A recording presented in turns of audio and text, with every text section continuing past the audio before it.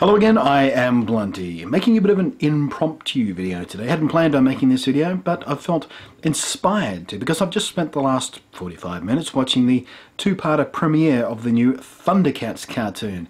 And I present this video as a man who was a fan of the original Thundercats cartoon from 1985 to 1987. It only ran for two years, but it made a big impression on chaps like me who grew up with them. I mean, this was in the days of, you know, the 80s Astro Boy series, which was fantastic, um, and Transformers and stuff. Thundercats was right alongside all those cartoons that guys like me in our late 20s to early 30s loved and grew up on and had the toys and the action figures, and I had my own Sword of Omens when I was a kid. I'd run around the backyard going, Thunder, Thunder, Thundercats, ho! And all that sort of stuff. I loved it to bits someone I heard they were remaking the cartoon or making another version of the cartoon or making a follow-on cartoon or whatever they want to do with it, I was skeptical because, as Astro Boy has proven to me, when you know people from this day and age try to reboot a cartoon from the 80s that people like me love, they sometimes screw it up like they did with the recent Astro Boy cartoon series, and to some extent the movie, or the movie was better, but nothing compares to the original 80s Astro Boy. If you get a chance, watch those over again. They are surprisingly impactful. Really well written stuff. But anyway, I'm digressing off the point of Thundercats. I love Thundercats growing up, so I was skeptical. I was willing to give it a go, because I love Thundercats that much. I've even considered getting a Thundercats logo tattoo on occasion. That's how much I love Thundercats. It was a part of my youth that I was passionate about. So it was with trepidation and relatively low expectations that I watched the premiere of the Thundercats cartoon, the new one. A couple of things were encouraging. One, I knew they had the original voice actor for Lion-O. He's the, if you're not familiar with Thundercats at all, Lion-O is the lead character. He's, you know, Lord of the Thundercats. He's, uh, he's the one in charge, the middle of the action. The person who did his voice in the 80s now plays Lion-O's father in this series which was uh, a nice little link for the old school fans. Um, same characters, same kind of personalities, but in a new kind of situation. And it's set up really weird because I'm not going to spoil it for you, but the story is set up and it tells the story as if this is the Third Earth from the original cartoon, but many, many, many, many generations after the original Thundercats defeated Mumm-Ra at the end of the last series and all that sort of stuff. But then you've got all these characters who are pretty much the same characters as they were like that. So are they reincarnations? Is it an alternate timeline? What's going on here? I mean, it's it's a little confusing if you if you're familiar with the lore of the original. If you're coming to it fresh, it's not going to bother you. Uh, the other thing I, that gave me hope about this was the voice actor for the new Lion-O is Will Friedle. I think that's how you say his last name. I've never heard it said. But Will Friedle is something that guys like me might care about as well because he, amongst other things that he's done notably, did the voice work for the Terry McGinnis Batman, the Batman of the future, which was a brilliant show that I never ever thought was going to work, but turned out to be marvelous in many, many, many ways. And I'm getting that same kind of feeling from this new Thundercats cartoon. Watched it, skeptical. And as it unfolded, I went, oh, that's a bit confusing, that's a bit weird. And then it got rolling and picked up some pace, and I got enthralled with it. Basically, everything feels well rounded, well told, well thought out um, well portrayed, well acted, well animated.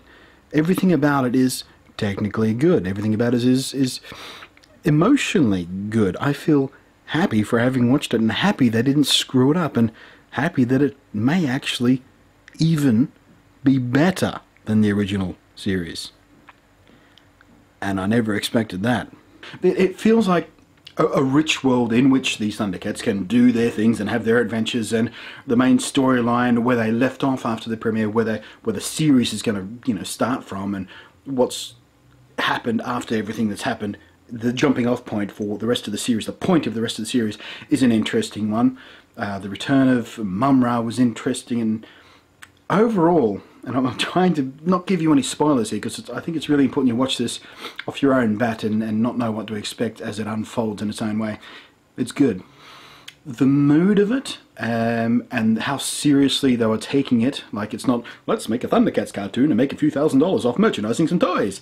It felt like the attitude that was given to Avatar The Last Airbender uh, from Nickelodeon, which was a fantastic cartoon that was that, that, it was taken seriously, it was written well. It wasn't written for kids, although plenty of kids enjoyed it.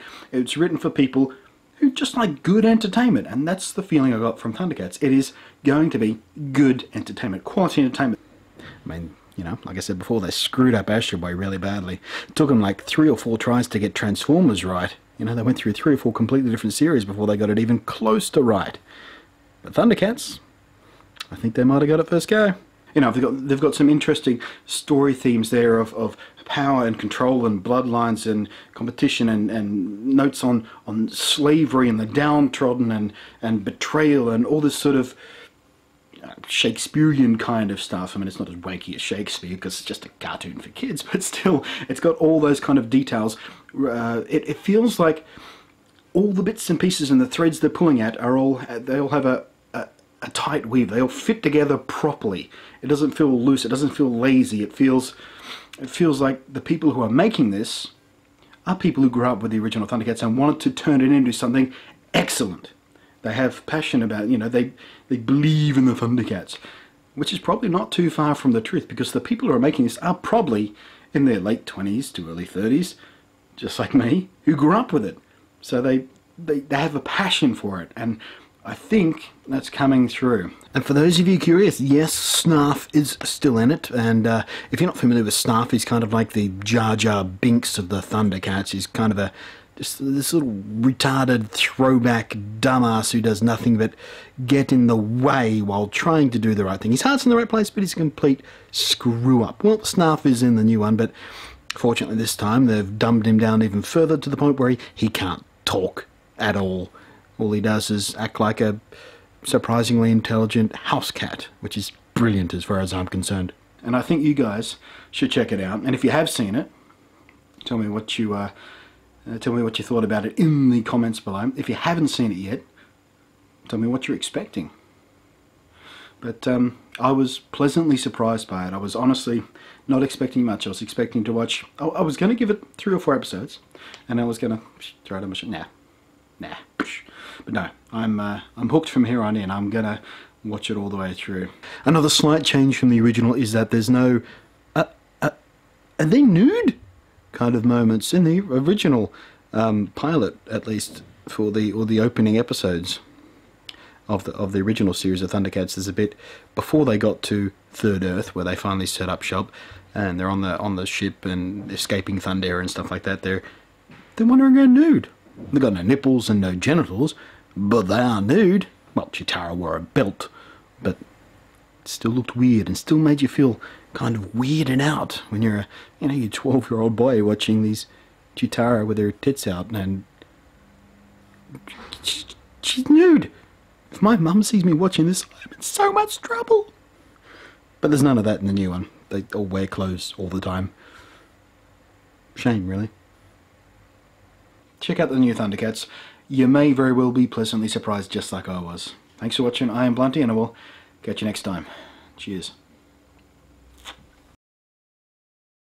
Actually, just before I really, really go, another new cartoon to check out that I checked out out of pure, morbid curiosity is the new My Little Ponies cartoon.